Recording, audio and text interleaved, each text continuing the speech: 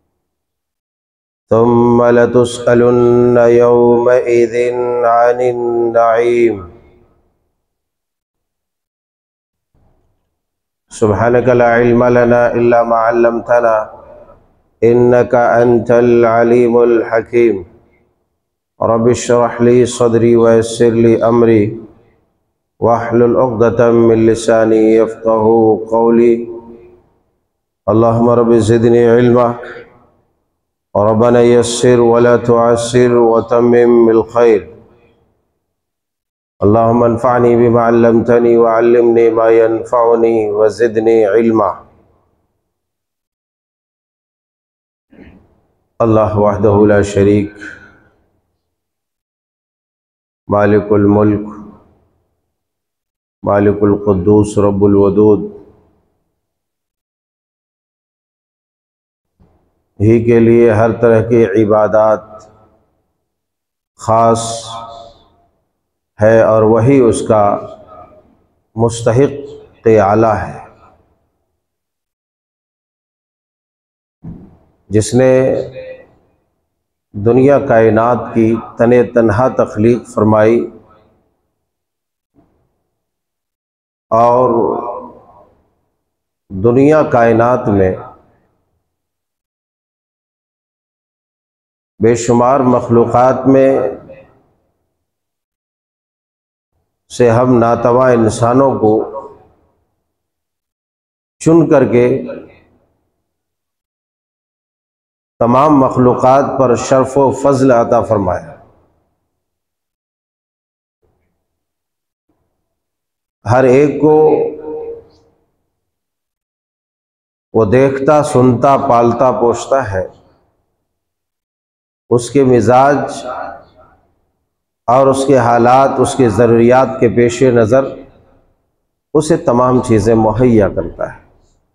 इसीलिए हर तरह की इबादत और तहमीद व तकदीस का हकीकी मुस्तक वही है। फ़लाहमद वलशुक्र सुबहान अल्लाह वबहमदी सुबहान अल्लाज़ीम अहबाब ग्रामी इससे कबल के खुतबात में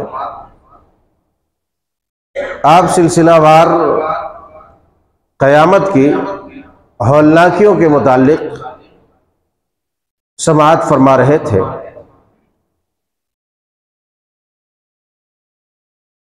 उन्हीं तमाम खुतबात के सिलसिले की एक कड़ी आज भी रखने की कोशिश कर रहा हूँ। अल्लाह जल्ल वाला शाह से दुआ है कि मौल करीम हमें हक सच, सही सही तरीके से बयान करने, हम सबको सही तरीके से सुनने और उस पर अमल करने की तोफ़ी फरसानी फरमा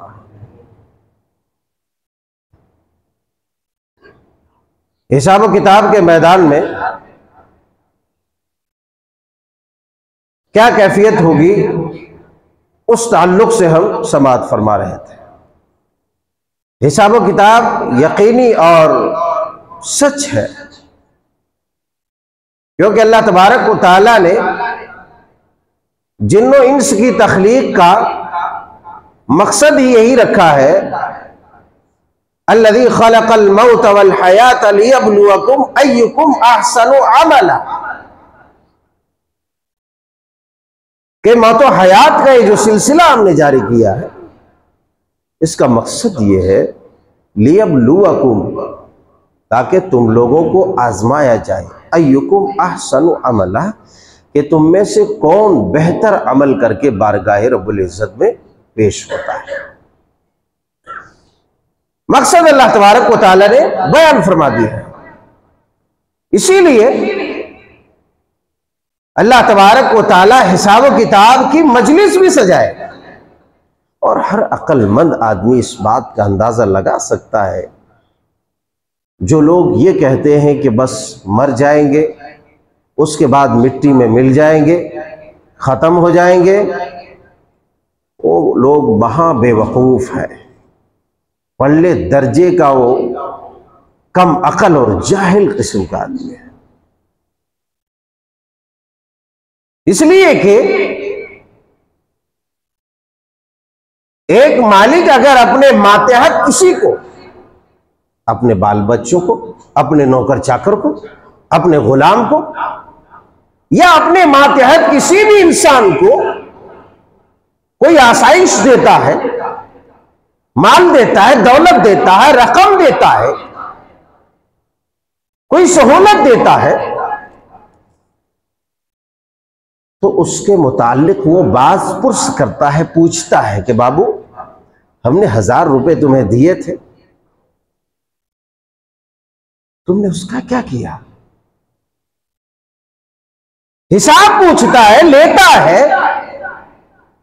कि आखिर मैंने जो तुम्हें दौलत दी थी, उसका तुमने क्या किया? ये कॉमन बात है। जिसने इतनी बड़ी दुनिया, इतना बड़ा संसार इतनी बड़ी ज़मीन, इतना बड़ा आसमान, ये खला, ये पहाड़, ये पर्वत, ये दरिया, ये समंद, ये चरिंद, ये परिंद, ये शजर, ये हजर, ये दरख्त, ये पेड़, ये पौधे, ये सारी चीज़ें जिसने पैदा की है, बनाई है। और इंसानों जिन को जो सहूलियात मुहैया किया है तो क्या यूँ ही छोड़ देगा? ये बेवजह है, बेमकसद है। हर अक्लमंद आदमी यही सोचना चाहिए कि नहीं भाई, कोई अगर किसी को कुछ देता है तो उसके पसे पर्दा कुछ राज होता है। या फिर देने के बाद उसके मुतालिक वह पूछेगा। जब आप अपने मातहत को कोई चीज़ हवाले करके उससे बास पुरुष कर सकते हैं, हिसाब ले सकते हैं, अल्लाह तबारक व ताला जो दुनिया कायनात का खालिक हकीकी है, जिसने इतनी बड़ी कायनात सजाई है, आपको बनाया है, आपको सारी सहूलियात दी है, रहने, सहने और तमाम चीज़ों के तौर तरीके और सारी चीज़ें मुहैया की है, दी है तो क्या ये सवाल करने का और पूछने का वो हक नहीं रखता कि मेरे प्यारे बंदे, जरा मुझे ये तो बता, मैंने तुम्हें साठ साल, सत्तर साल, अस्सी साल की ज़िंदगी दी थी, तुमने क्या किया? पूछने का मुस्तक है वो। हर अक्लमंद आदमी यही कहेगा कि ज़रूर वो पूछेगा।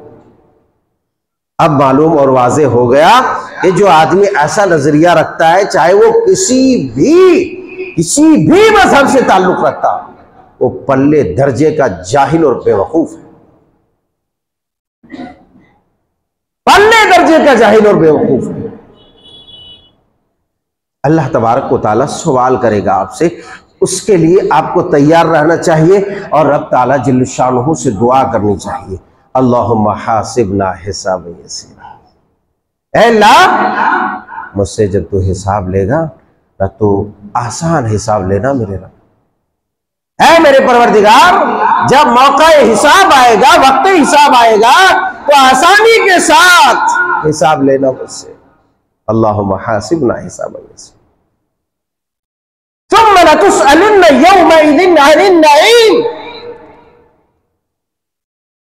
अलबत् ज़रूर व ज़रूर तुमसे जो नेमतें दी गई है, उन नेमतों के मुतालिक अल्लाह सवाल फरमाएगा। बास पुरुष करेगा। तुम यौम नईम नेमतों के बारे में तुझसे सवाल होगा। अल्लाह पर सुनन तिरमिजी के अंदर। इसी सूरा तकासुर के तफसीर में अब बाबू तफसीर में हदीस पाक मौजूद है, जिसमें हज़रत रसूलुल्लाह सल्लल्लाहु अलैहि वसल्लम बयान फरमाते हैं, हज़रत अबू हुरेरा रज़ी अल्लाह तु रिवायत करते हैं, नकल करते हैं। अल्लाह के प्यारे हबीब सलाम ने इशाद फरमाया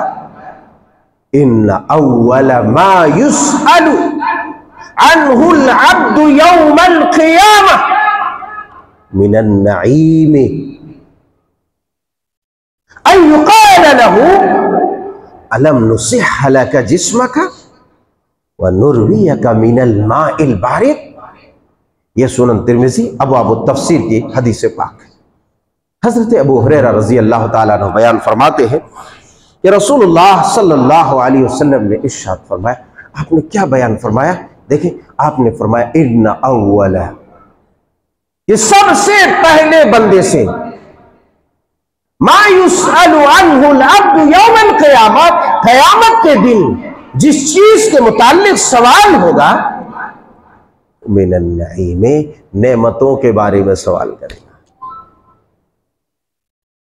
सबसे पहले नेमतों के बारे में अल्लाह सवाल करेगा। अब आप तस्वूर करें, आप अंदाज़ा करें, आप देखें अपने आप को सर से लेकर के पैर तक। नज़र नहीं आ रहा, बड़े आईने और शीशे के सामने खड़े हो जाए। देखें अपने आप को कि अल्लाह जुल्शान हो सुबहान हो, ताला ने आपको किन किन नेमतों से नवाजा है। जब आप अपनी बॉडी को देख लें, चारों तरफ़ से उल्टा पलटा के ऊपर नीचे करके कि क्या क्या नियमतें दी है, फिर आप दाएँ देखें, बाएँ देखें, आगे देखें, पीछे मुड़ के देखें, ऊपर देखें, नीचे देखें कौन कौन सी नेमतें आपको दी गई हैं?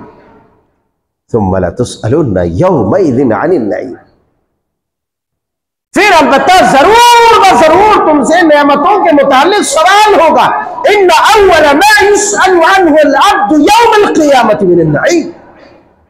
क़यामत के दिन अल्लाह तबारक ताला बंदे से सबसे पहले नेमतों के मुताबिक पूछेगा। क्या कहेगा? कहा जाएगा, अलम नुसी का जिस्म का ए प्यारे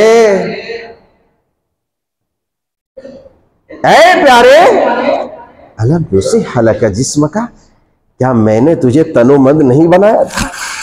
खूबसूरत जिस्म वाला नहीं बनाया था? हालका ऐ मेरे बंदे, मुझे ये बता, क्या मैंने तुम्हें तंदुरुस्त, तवाना और खूबसूरत जिस्म वाला नहीं बनाया था? तुम्हारे गोश्त को बढ़ाया नहीं था? तुम्हारी हड्डियों को मज़बूत नहीं किया था? आए हाय, पूछेगा, ज़रूर पूछेगा। क्यों नहीं पूछेगा? फ्री फुगट में आपको दे दिया है जिसम? है? मस्ती करने के लिए दे दिया कि जाओ, मस्ती करो, खाओ, पियो, मौज करो और मर जाओ, मिट्टी में मिल जाओ। ना ना ना, बाबा, ऐसा नहीं, ऐसा कानून कहीं नहीं है, कहीं नहीं। आप अपने बच्चे को दस रुपये दे करके आप आज़ाद नहीं छोड़ सकते हैं तो अल्लाह तबारक को ताला ने, अभी कल ही परसों सुन रहा था एक वीडियो में, एक आदमी जो है हिसाब लगा रहा था। पार्ट्स ऑफ़ बॉडी का हिसाब लगा रहा था कि उस इंसान के जिसम में कितने करोड़ रुपए का जो है माल है। इंसान अगर अपने आप को बेचे तो उसे कितने करोड़ रुपए मिल सकते उसका हिसाब लगा। गालिबन, अरब में बताया है, करोड़ में। अगर करोड़ ही बता दिया जाए तो सात करोड़ कोई कम नहीं है। जितना भी रहा हो, आज के इस साइंस और टेक्नोलॉजी के जमाने में, हर आदमी एक एक चीज़ का हिसाब और उसकी कीमत भी लगा सकता है। अब सही तरीके से तो मुझे याद नहीं है, सात करोड़ कहा या सात अरब कहा। मगर कहा उसने कि एक इंसान अगर अपने आप को बेचे तो सात करोड़ रुपए से मिलेगा। यानी एक एक हिस्से को, किडनी को बेचे, दिल को बेचे, लिवर को बेचे, आँख बेचे, कान बेचे, कुछ भी बेच दे। गोया कि उसने मोटी मोटी चीज़ों का जो हिसाब लगाया, बताया साठ करोड़ रुपए, अल्लाह अकबर। आपको इस कदर मालदार लोग कहते कि क्या दिया मुझे अल्लाह ने? क्या कहते? क्या दिया मुझे अल्लाह ने? जो कल पूछेगा, उल्लू का पट्टा अभी समझ नहीं आया तुझे। जा, कीमत लगा अपनी, किडनी की कीमत लगा।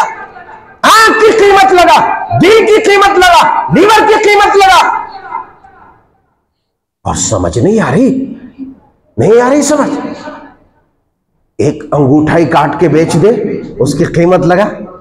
यहाँ से अंगूठा काट के बेच, उसकी कीमत लगा। और फिर तू अपनी बाइक पे बैठ तो तुम्हें पता चलेगा इस अंगूठे की कीमत क्या थी। किडनी खराब हो जाए, दुनिया ढूंढती है, कौन डोनेट करेगा किडनी?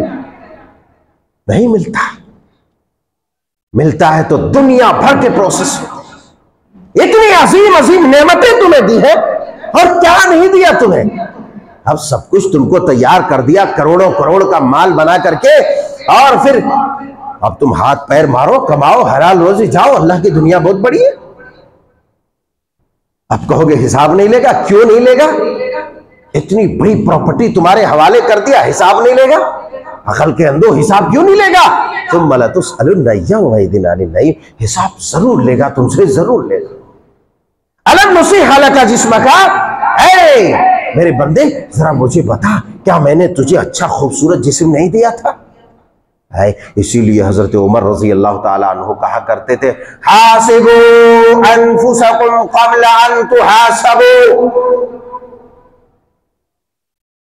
क्या कहते थे? हासिबू हासिबू अनफुसकुम। ए लोगो अपने नफ्स का मुहासबा करो। एक करोड़ों करोड़ की जो प्रॉपर्टी तुम्हें अल्लाह ताला ने दे दी है, तुम्हारे जिस्म की सूरत में इतनी बड़ी दौलत, तुम्हारे सेहत की सूरत में इतनी बड़ी दौलत। अल्लाह तबारक ताला ने जो तुम्हें दे दी है, अरे पूछो जाके उन लोगों से, पूछो जिनके पैर मफलूज हो चुके हैं, सीधे नहीं खड़ पाते ज़मीन पर, पूछो उनसे, जो एक तरफ़ मफलूज हो चुका है, पैरालाइज हो चुका है एक तरफ़ ना वो हरकत कर सकता है। उनसे पूछो तुम्हारी जिस्म के एक साइड की कीमत क्या है?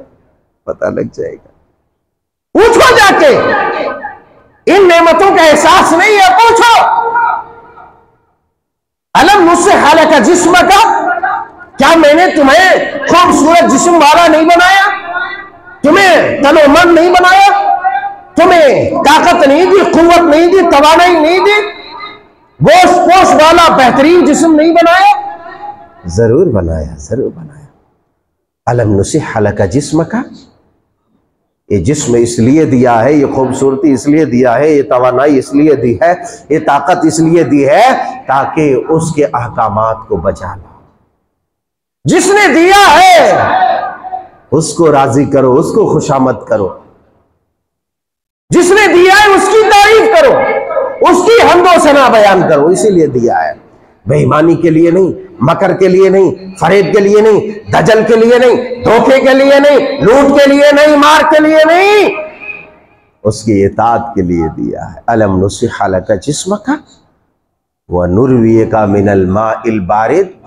ए मेरे बंदो, ज़रा मुझे बताओ जिसम तवाना दिया, तनोमंद बनाया, ताकतवर बनाया, सब किया, चलता फिरता मैंने तुम्हें ज़मीन पे छोड़ा दिया? अब खाने पीने के लिए ठंडा पानी तो दिया ना। वह नुरिया का मिनल माइल बारिदी, क्या मैंने तुम्हें ठंडा पानी नहीं दिया? क्या मैंने तुम्हें पीने के लिए मीठा पानी, ठंडा पानी नहीं दिया जिससे तुम सैर हो जाओ? अपनी ताकत को बहाल करो। हाय हाय हाय। सब कुछ दिया अल्लाह तबारक ताला तब क्यों नहीं सवाल करेगा? हज़रत अब्दुल्ला इब्ने मसूद रज़ी अल्लाह तहो जो सुनन तिरमिजी अब सिफातिल क़यामा में हदीस पाक मौजूद है। आप बयान फरमाते, बड़ी मारूफ और मशहूर हदीस है, मगर ज़रूरत इस बात की है, मौजू के तहत उस हदीस पाक को लाने का मकसद और गर्ज ये है कि हदीस पाक के एक एक लफ्ज पर हम गौर करें। एक एक लफ्ज पर हम गौर करें। हज़रत अब्दुल्ला इब्न मसूद रज़ी अल्लाह ताला बयान फरमाते हैं कि रसूलुल्लाह ने इरशाद फरमाया, ला आदम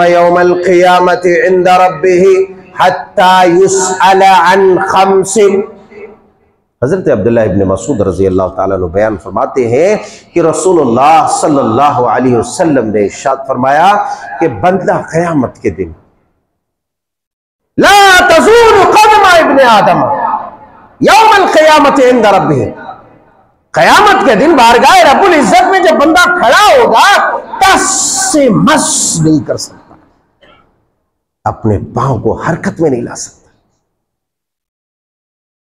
अपने कदम को हटा नहीं सकता ला तजूर कदमा इब्ने आदम है इंसानों क्यों सवाल नहीं होगा तुमसे किसने कह दिया सवाल नहीं होगा? जिसने तुम्हें बनाया है, जिसने भेजा है, उसने तुम्हें बताया कि तुमसे एक एक चीज़ का हिसाब लिया जाएगा। एक एक चीज़ के बारे में तुमसे पूछा जाएगा। कल चल के ये कोई ना कहे कि मुझे कोई बताने वाला नहीं था। तुम्हें अकल दे दिया था समझने के लिए। दुनिया में मिसालें दे दी थी, मिसालें बना के पेश कर दी थी, ताकि तुम अपनी अकल से उसको परख सको, समझ सको कि जिसने इतनी बड़ी कायनात बनाई, इतना सब कुछ दिया है, इतनी सारी चीज़ों का इंतज़ाम इंतज़ाम क्या है। क्या वो ये नहीं पूछेगा कि मैंने तुमको ये सारी चीज़ें क्यों दी है? नहीं पूछेगा, ज़रूर पूछेगा। फरमाया, यहाँ तक के पाँच सवाल अल्लाह तबारक ताला और दूसरी रिवायत में है कि चार सवाल, वही चार सवाल ही पाँच है और पाँच सवाल ही चार बनते हैं। उसको पाँच बना लिया जाए या चार? फरमाया कि जब तक पाँच सवालात न कर लिए जाए, बंदा अपने कदमों को हिला नहीं सकता, हटा नहीं सकता। वो क्या सवाल है? ला तजूल कदम इबन आदम यौमल क़ियामत इंद रब्बिही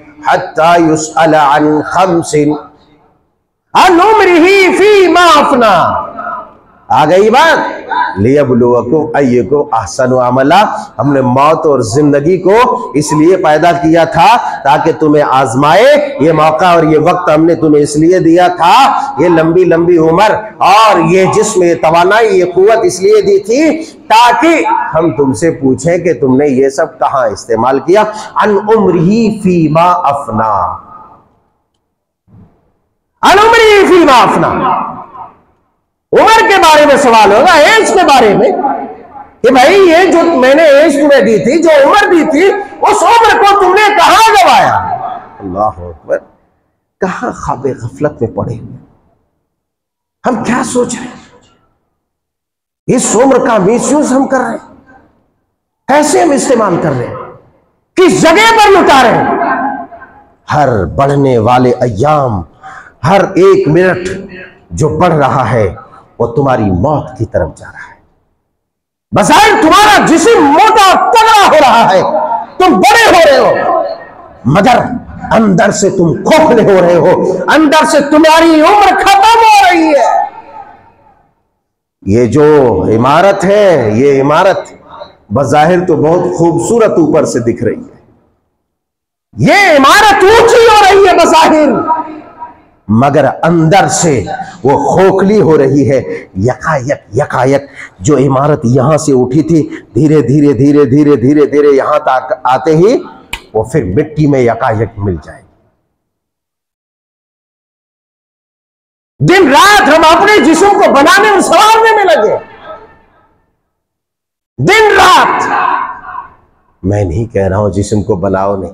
मैं नहीं कह रहा हूँ जिसम शरीयत ने भी ये नहीं कही, बल्कि शरीयत ने ये कहा, रसूलुल्लाह सल्लल्लाहु अलैहि वसल्लम ने कि कमज़ोर मोमिन से मज़बूत और ताकतवर मोमिन ज़्यादा उम्दा और बेहतर और पसंदीदा है। मगर ये जो तुम्हारे सबो रोज और अयाम गुजर रहे हैं, तुम्हें इसका हिसाब होना चाहिए कि कहाँ और किस तरीके से गुजर रहे अनुमरी कि ये उम्र कहाँ खत्म हो रही है? ये उम्र कहाँ गुजर रही है? हमें इसकी कोई परवाह नहीं मुल साहब। बस बच्चा पैदा हो गया, जल्दी जल्दी चलने लगे, जल्दी जल्दी कमाने के लायक हो जाए, फिर शादी ब्याह कर दे, फिर बच्चा पैदा करे और फिर उस बच्चे की शादी ब्याह कर दे। बोल साहब, शटल होना है बस। और क्या? अब फिर खाना पीना और मर जाना है। बोल साहब, ये नहीं है बोल साहब, ये नहीं अनुमरी फ़ी माफना। ये तो कुल्ली तौर पर, एक मुतलक तौर पर आपकी उम्र के बारे में सवाल होगा वो अनशबाबी फ़ी माफना। उम्र तो मुतलक पैदाइश से लेकर के मरने तक, है ना? ये मजमुई तौर पर और मुतलक तौर पर बता दिया गया। मगर अब अलग से बताया गया हाँ ये सुनो, अन उम्र ही फीमा अफना, तुम्हारे उम्र के बारे में तो सवाल हो गया, अब तुम्हारी जवानी के बारे में सवाल होगा। जिस जवानी के रंग में इंसान रंगा है, जिस जवानी के नशे में धुत है, और उसे रब रसूल कोई चीज़ नज़र नहीं आती अल्लाह रसूल के अहकाम नज़र नहीं आते, बड़े छोटों की तमीज नज़र नहीं आती, कुरान और हदीस उसे समझ नहीं आती।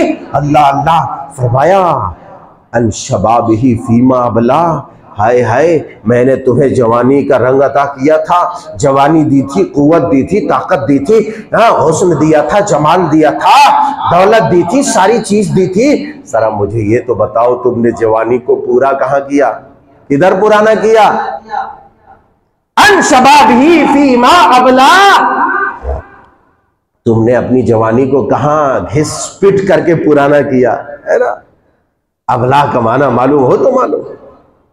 अबला के माना सिर्फ़ खत्म करना नहीं है, पुराना करना है। पुराना करके खत्म करना है। घिस करके खत्म करना है। अरे अकलमंदों की जमात, ये जो जवानी दी मैंने तुम्हें, जरा मुझे ये तो बताओ, तुमने इसे कहाँ घिसा? कहा घिसा? किधर घिसा? किधर घिस पीट करके खत्म किया? एहसास है? नहीं, एहसास है मुल साहब ये ये जवानी किस लिए दी थी? ये जवानी देने के साथ साथ रब के रसूल और रसूल के सहाबा को आइडियल तुम्हारे लिए बनाया था। ये जवानी रातों को जागने के लिए, रातों को इबादत के लिए, कयामुल्लैल के लिए, दिन को सयाम के लिए, तिलावत कुरान के लिए, दीन की तबलीग के लिए, दीन की नशरिशात के लिए, कौम के तहफ़ के लिए, कौम की बेटियों की हिफाजत और सियानत के लिए, कौम और मिलत की खिदमत के लिए मैंने ये जवानी दी थी। अल्लाह अल्लाह। और इस जवानी को सहाबा ने, असलाफ ने ने मुहदसिन ने, बुजुर्गान दीन ने और दीन, मुस्तहिदीन ने फकहा रब के दीन की, कौम की, मिल्लत की खिदमत करके ये दुनिया को बताया कि लोगों, इस उम्र का जब हिसाब होगा, तुमसे जवानी के मुतालिक पूछा जाएगा। यही वजह है सैदुल्ला हज़रत इमाम बुखारी रहमत अपनी आई जवानी के वक्त हदीस की इतनी बड़ी खिदमत करके दुनिया में एक मिसाल पेश करते हैं। अल्लाह अल्लाह, साहब इकराम रिजवान को देखो मुहदसिन को देखो दीन को देखो, अपनी जवानी को रब की खिदमत में दीन की खिदमत में, कौम की खिदमत में मिल्लत की खिदमत में सरफ किया।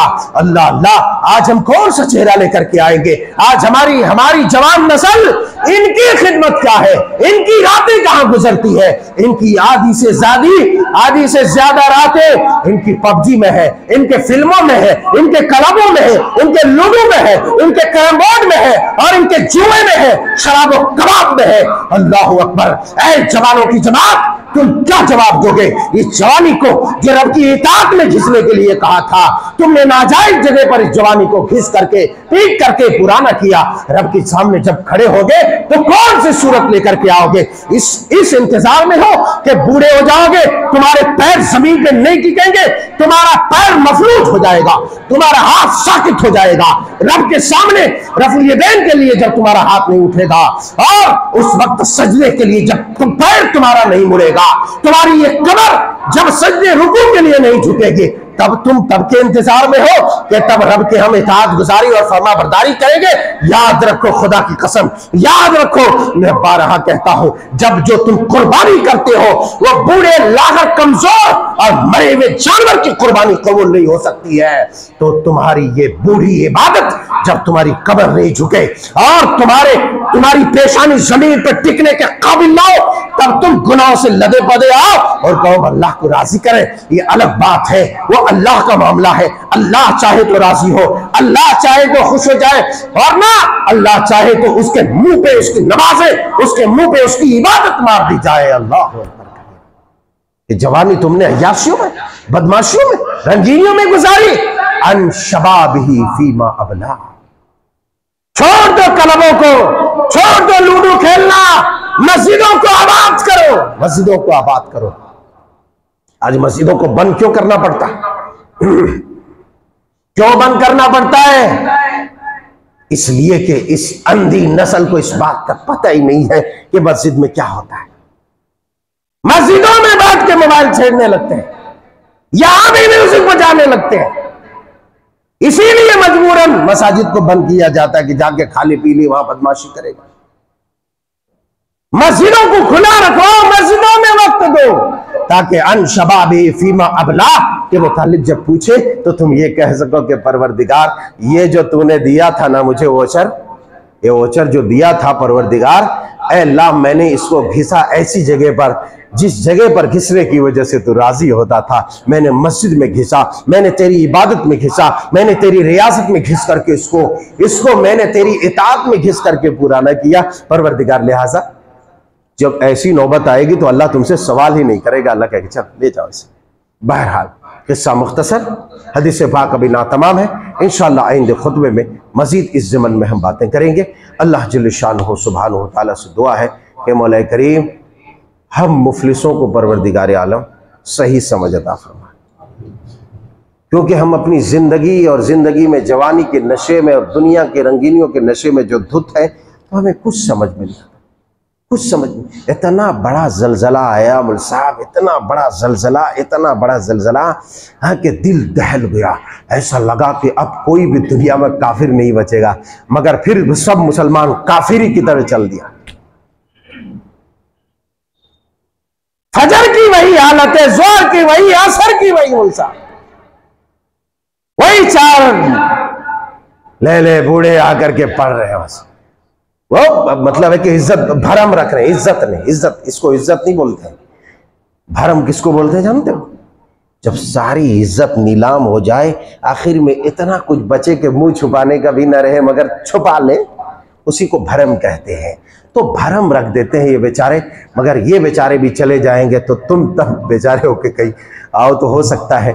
मगर ये भरम रख रहे हैं। इतना बड़ा जलजला आया, दिल शक हो रहा था, कलेजा फट रहा था। मस्जिदें आबाद हो जानी चाहिए कि पता नहीं कब, कहा, कैसा आ जाए।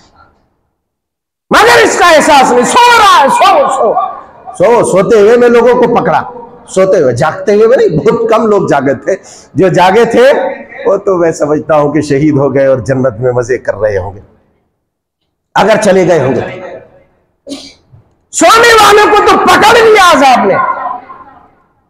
कहीं ऐसा ना हो कि तुम्हें भी पकड़ ले। बहरहाल किस्सा मुख्तसर, अल्लाह वालों किस्सा मुख्तसर। अगर इस जलजले ने तुम्हारी आँख नहीं खोली तो अब इंतज़ार करो कि जब मौत का जलजला आएगा और तुम्हारे जिस्म से नोच करके तुम्हारी रूह को निकालेगा तो उसी जलजले से तुम ठीक हो गए क्योंकि इंसान जिस चीज़ के आदि हो जाते हैं, अल्लाह के रसूल वसल्लम ने फरमाया उसके उस हवस को अब दुनिया में कबर की मिट्टी के सिवा कोई चीज़ ख़त्म नहीं कर सकती। तो कहीं इस इंतज़ार में तो नहीं हो कि कबर की मिट्टी ही अब हमारी उन तमाम जो है बुरी ख्वाहिशात और नाजायज़ जो है हवस को ख़त्म करे। अल्लाह जल्ल शान हो हम तमाम गुनहगारों को माफ़ करते हुए परवरदिगार, अपना इतात गुजार बंदों में शामिल फरमा ले। या मुसरफ़ल क़ुलूब सरफ़ क़ुलूबना आमीन।